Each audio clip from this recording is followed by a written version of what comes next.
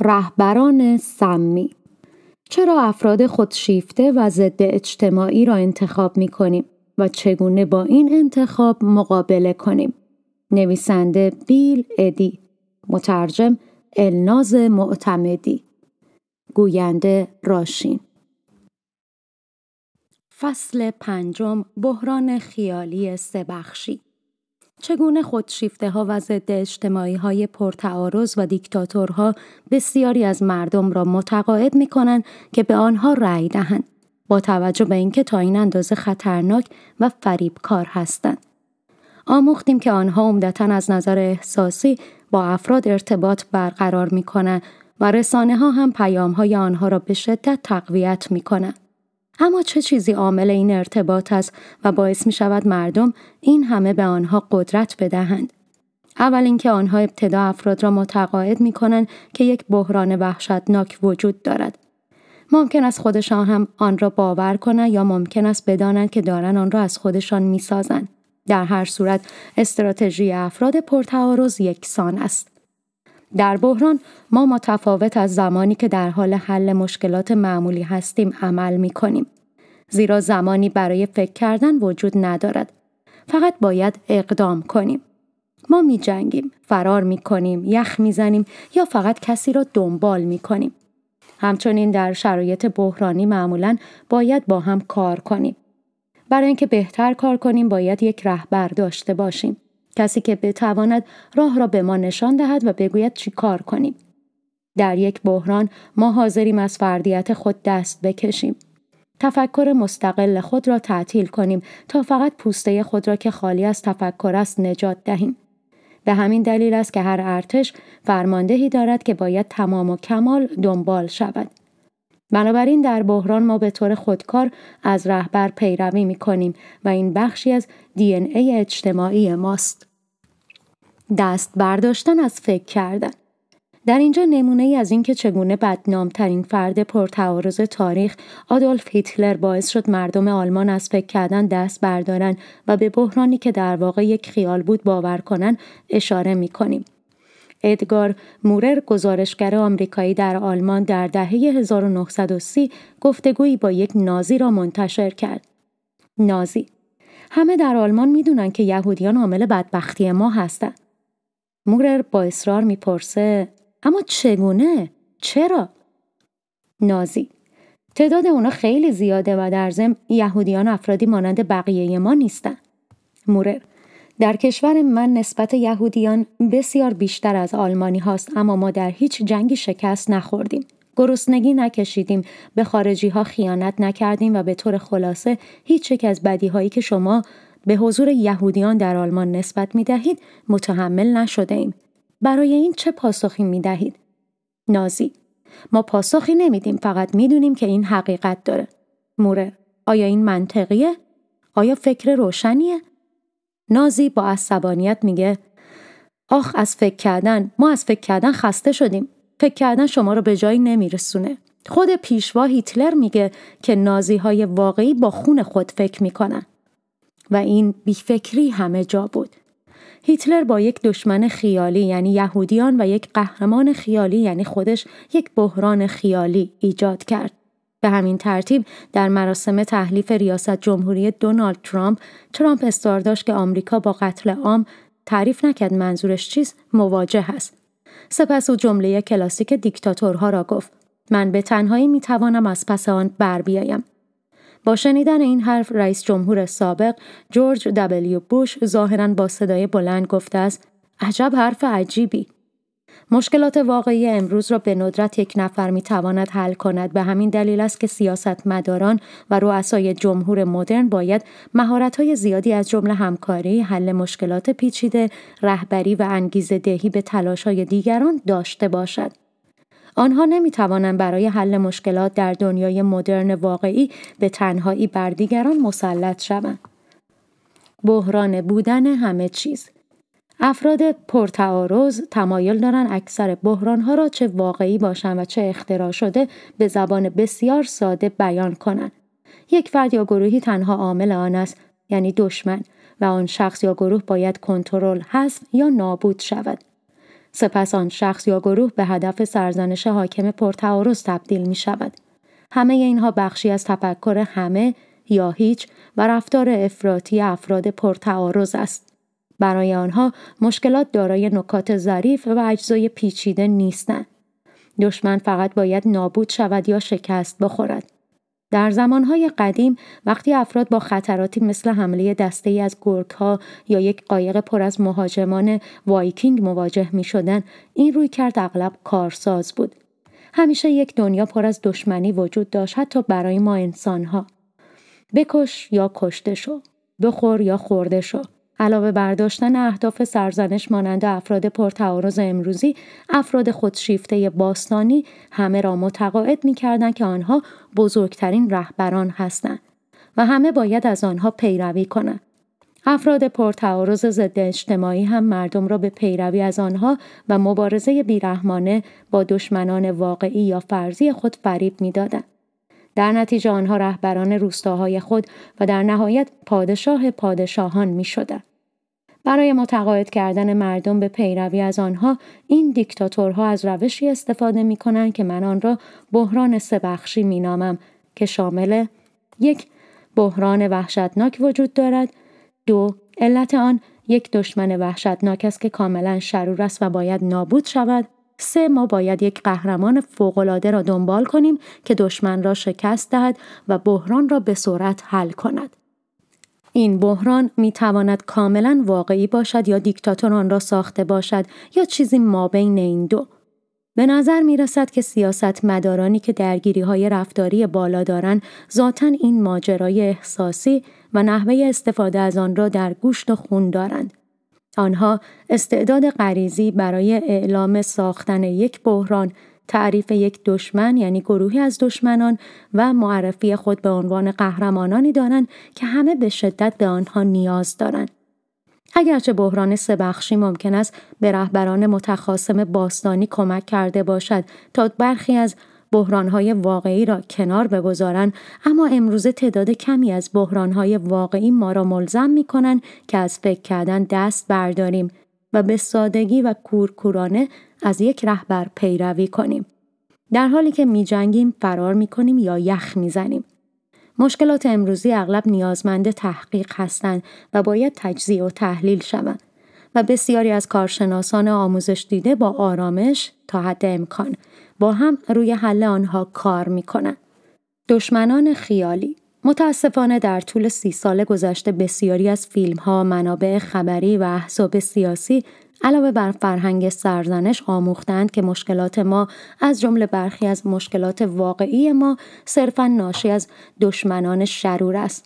این دشمنان ممکن است افراد خاصی باشند خارجی ها افرادی که متفاوت از ما فکر می کنند، نگاه می کنند، صحبت می کنند یا زندگی می کنند، اعضای حزب سیاسی مخالف و غیره.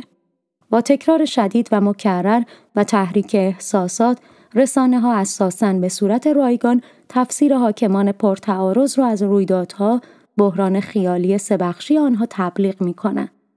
قهرمانان خیالی همچنین به اشتباه به ما آموختند که اغلب قهرمانان مشکلات و بحرانها را حل می کنند.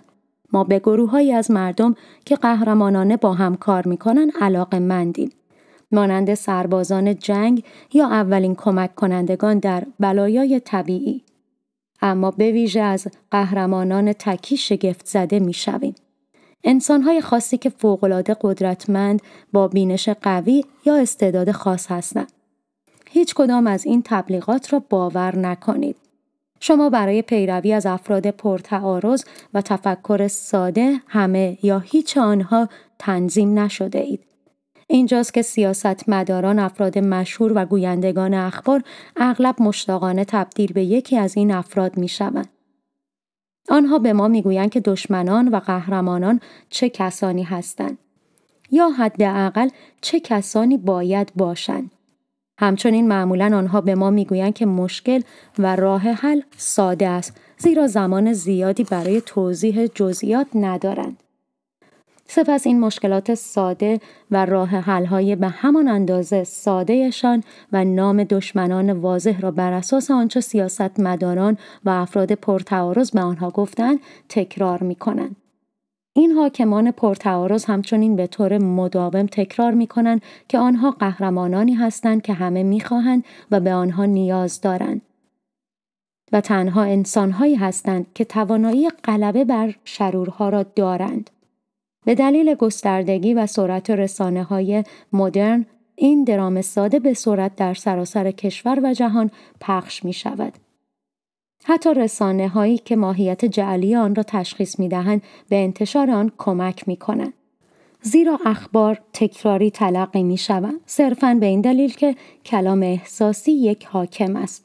با گذشت زمان بحران خیالی سبخشی بیشتر و بیشتر واقعی می شود و در نهایت ما را مانند یک ویروس آلوده می کند. دو پاسخ به مشکلات انسانی سیاستمداران مرتب به ما می‌گویند که چقدر قوی هستند و چقدر سخت برای ما میجنگند که این به ذات خود خوب است. قدرت، تعهد و استقامت همه مهم هستند. اغلب آنها دقیقا همان چیزی هستند که ما به آن نیاز داریم. با این حال چیزی که ما به همان اندازه به آن نیاز داریم یا علاوه بر آن می‌خواهیم خرد، خلاقیت، چابکی، بینش، توانایی تجزیه و تحلیل مشکلات پیچیده و استعداد برای ایجاد و حفظ اتحاد است. اگرچه برخی از مشکلات را می توان و باید با جنگیدن و غلبه بر دشمن حل کرد اما تا زمانی که مردم دست از مبارزه نکشند نمی توان به بسیاری از مشکلات امروزی پرداخت برای بقای خود باید بتوانیم به هر دو صورت فکر و عمل کنیم در واقع مغز ما برای کار روی هر دو سیمکشی شده است اما نه هر دو در یک زمان در روش سیمکشی خاص مغز ما تنها یکی از این رویکردها در هر زمان معین می‌تواند غالب باشد ما به معنای واقعی کلمه نمی توانیم به هر دو روی کرد به طور همزمان دسترسی داشته باشیم. به همین دلیل است که سیاست مداران با درگیری های بالا اغلب ما را فریب می دهند و منحرف می کنند. تفاوت های ظریف بحران خیالی سبخشی اکثر سیاست مداران با درگیری رفتاری بالا یا یک بحران را ابدا می کنند یا یک مشکل واقعی را که باید حل شود در نظر می گیرند و آن را به چیزی بسیار خطرناک تبدیل می کنند. سپس مردم این مشکل در همامیخته را با بحرانی اشتباه می گیرند که از آنها می خواهد کورکورانه از رهبر پیروی کنند. به همین دلیل است که بررسی دقیق شخصیت دشمن شرور و قهرمان ظاهری آنها بسیار مهم است. اگر دشمن به وضوح و ساده تعریف شده باشد، مثل مکزیکی ها، یهودی ها، جمهوری خواهان، دموکرات ها، فاسدان اخلاقی، چینی ها، کمونیست ها، شرکت ها، گربه های چاق، مسلمانان، فاشیستا، سرمایه داران یا مردان سفیدپوست که با انگشت سبابه اشاره می کنند به احتمال زیاد او یک فرد پرتعارض است و این ویژگی شخصیتی اوست یعنی تفکر هیچ یا همه این را به خاطر بسپار یکی دیگر از نشانه های بحران خیالی سبخشی این است که فرد متعارض هر گونه تحلیل، بحث یا بررسی واقعی حقایق را من می کند. این همان کاری است که هیتلر در مثال قبلی انجام داد تا بسیاری از آلمانی ها کورکورانه از او پیروی کنند. او می توانست مردم آلمان را از تفکر منحرف کند. درباره این پوچی که او گفته بود یهودیان دشمن و شرور قدرتمندی هستند بنابراین آنها فقط او را باور کردند. بزرگترین و واضحترین هدیه بخش سوم این سگانه است. من و تنها من می توانم مشکل را حل کنم. حاکمان به ندرت درباره تجزیه و تحلیل مشکل و پرداختن به آن از طریق همکاری اتحادهای استراتژیک یا هر تلاش مشترک دیگری صحبت می کنند. در عوض آنها اصرار دارند که هیچ کس دیگری شاید هیچ کس دیگری در این سیاره این توانایی شگفتانگیز را ندارد که همه چیز را بهتر کند. آنها و فقط آنها این کار را انجام می دهند. یا به آنها رأی دهید یا با عذاب حتمی روبرو می شوید. در واقع این حاکمان معمولا هیچ سر نخی درباره چگونگی حل مشکل ندارد زیرا این یک بحران خیالی است شاید هرگز به آن فکر نکرده باشند برای آنها این خوب است زیرا آنها در واقع به مشکل هیچ اهمیتی نمی دهند. همان مشکلی که اصرار دارند زندگی شما را خراب می کند و کشور را در معرض خطر قرار می دهد. تنها چیزی که آنها به آن اهمیت می دهند پیروزی و کسب قدرت است. ما در بخش دوم این کتاب با چند نمونه واقعی به این موضوع نگاه خواهیم کرد. انتخاب اهداف سرزنش پس از شناسایی بحران افراد پرتعارض یک دشمن انتخاب می کنند. یک هدف مناسب. سپس آشکارا و بیامان آن هدف را با تمسخر می کوبن. یک خودشیفته بدخیم فرد پرتعارض که هم خودشیفته و هم ضد اجتماعی است ترکیبی از ویژگی های شخصیتی را برای انجام این کار دارد. فقدان کامل همدلی، نداشتن اخلاق خوب و حس پشیمانی. همچنین میل شدید به تسلط بر دیگران و برتر دیده شدن، مشغولیت به سرزنش دیگران و لذتی سادیستی در از بین بردن اهداف سرزنش در آنها وجود دارد. بسیاری از ما دشمنان خود را استراتژیک انتخاب نمی کنیم. اکثر اوقات دیکتاتورها این کار را انجام می دهند. برخی این کار را کاملا آگاهانه و عمدی و دیگران این کار را باستابی و شهودی انجام می دهند اما به نظر می رسد همیشه از معیارهای یکسانی استفاده می کنند. گروه دشمنان حاکمان باید تا حدودی برای رای دهندگان آشنا باشند تا نیازی به معرفی یا توضیح نباشد و ارتباط دست اولی با آنها داشته باشند و به راحتی در یکی دو کلمه تعریف شوند. مثلا مسلمانان یهودیان، کفار، ملکه های مرفع، خوک های ثروتمند و غیره. فرقی نمی کند که شناسایی اعضای این گروه شرور حتی پس از تماس مکرر غیر ممکن است. زمانی که این گروه واقعا ضعیف، آسیب پذیر و بخش بسیار کوچکی از جمعیت معمولا تنها یک تا سه درصد هستند، رای دهندگان می توانند بدون ترس از مجازات از آنها متنفر باشند. رای دهندگان برای نفرت شدید از آنها به آموزش زیادی نیاز ندارند. به دلیل پیشرفتها یا دستاوردهای اخیر اغلب آنها ناراضی هستند و این امکان برای حاکمان پرتعارض فراهم است تا بحران خیالی را به گردن دشمنان شرور بیاندازند و رای دهندگان را تشویق کنند تا احساس حسادت و عصبانیت و خشم کنند. به نوعی این موضوع به پول، امور مالی، زمین، قدرت مخفی یا سرگرمی متصل است. بنابراین می توان گروه شرور را قدرتمند و گذار جلوه داد. اگر این ارتباط نتواند برقرار شود، حاکمان معمولا تئوری توطعه می سازند که گروه دشمنان شرور را با وجود ظاهر آسیب پذیر به شکل پنهانی فوق قدرتمند معرفی کنند. نتیجه گیری بحران خیالی سبخشی که ساخته ذهن شخص متعارض است در تشدید احساسات مؤثر است. بنابراین رای دهندگان به بحرانهای خیالی باور دارند و این موضوع سطح ترس و تصمیم گیری احساسی آنها را افزایش می دهد.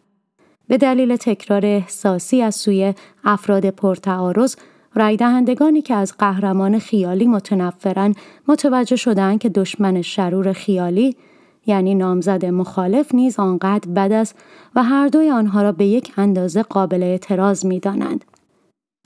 در آن صورت میان روها تمایل دارند به نامزد معمولی حزب خود رای دهند. مخالفان هر دو نامزد مخالف را با کنار گذاشتن آرای آنها به نفع نامزد سوم رد می کنند و افرادی که از انتخابات کنار رفتن هم به سادگی رأی نمی دهند. رسانه های سرگرم کننده که تمایل به حمایت از افراد پرتعارض دارند به همه اینها کمک می کنند و انرژی بیشتری برای ایجاد رابطه عاطفی با بینندگان و شنوندگان خود صرف می کنند. نتیجه این است که جنگ روانی افراد پرتعارض بیوقف تکرار می شود و آنها در آخر اغلب انتخاب می شوند.